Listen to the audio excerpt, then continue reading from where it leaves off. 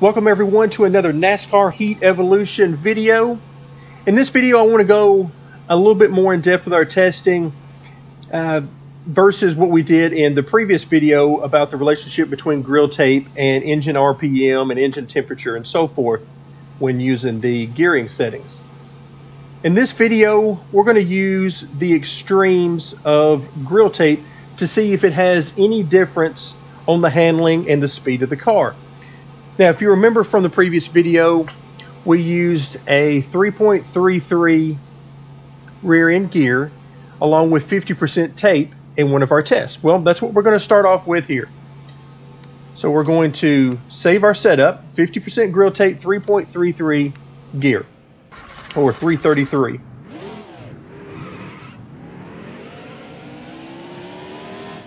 And again, I'm going to head straight out to the track and get right in these guys' way exactly what you shouldn't do.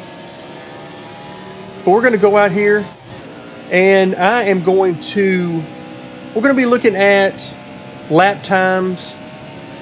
Uh, but I'm also for now going to pull back up the status uh, pop-up screen that shows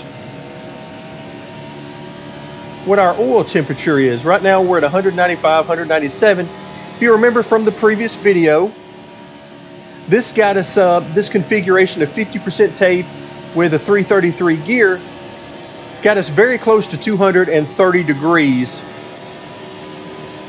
on engine temperature. I believe it settled in at somewhere around, you know, 226, 227, somewhere in that range. So we're going to see what it does here as we use the different tape configurations. Now, here, obviously, using the 50%, I would expect it to get right back up to that same number again. But we'll see. And then we'll also follow along and see what we can get to as the AI is bumping on me here. And the idea of this test is not so much the engine temperature, but we want to see how using different amounts of grill tape affect the handling of the car and then correspondingly the speed. Now, this won't be exactly a scientific test because, again, we don't have the ability to get out on the track with no other cars around. But we do have the ability to see how the handling is affected by using different amounts of grill tape. So we're using basically the max amount of grill tape we can get by with in a race setup for this gearing. All right, as you can see, we got down to a 29.34 that time. And here I'm going to have to use a higher line. Otherwise, I would run right into the back of the four car. And we've got more cars coming out on the track now. So we're not going to be running our absolute best laps. Still there. So we're basically running the second groove here. And as you can see, our engine temperature, uh, as represented by the oil temperature, is at 226, 227, somewhere in that range. So the same thing we saw in the previous video. That's good. Consistency and repeatability is always good.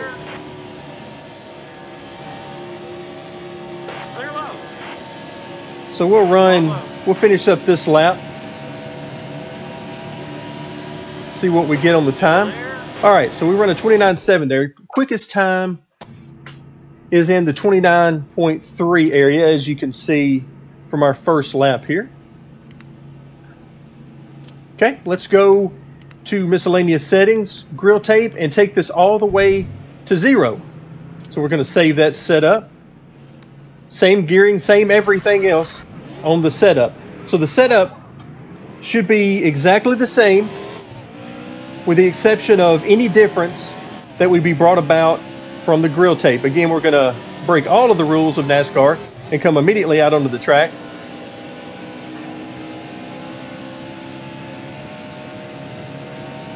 All right, so once again, looks like we're going to be around some cars.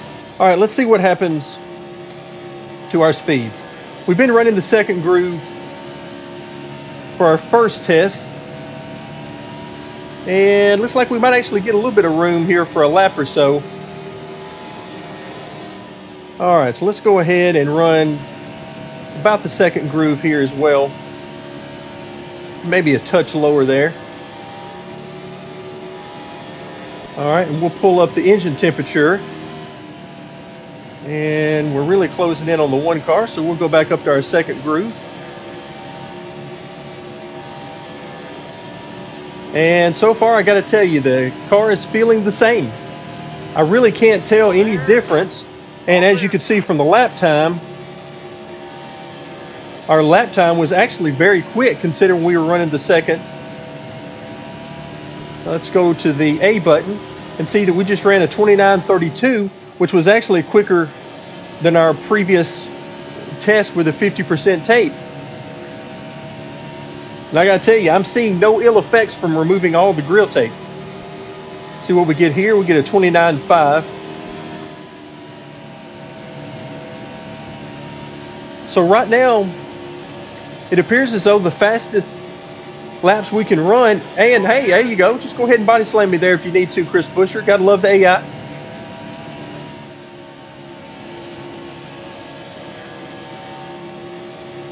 Sure hate to get on the track and uh, interrupt the AI as they go about their computerized business.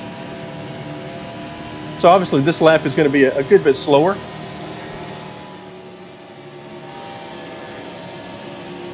Let's go back to our engine temperature. You can see that sure enough, the engine is running quite a bit cooler.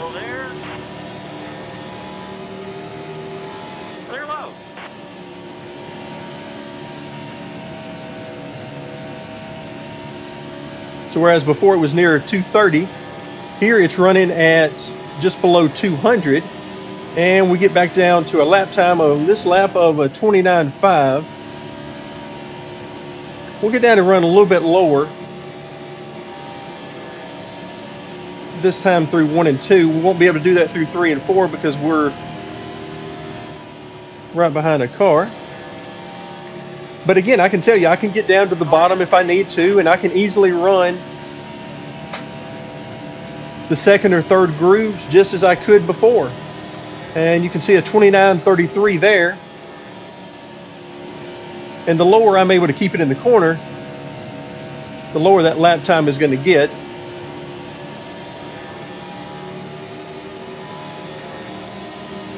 But again, I'm going to go up to the second groove because I don't want to, I want to be able to keep it uh, wide open instead of having to lift because I'm around these other cars.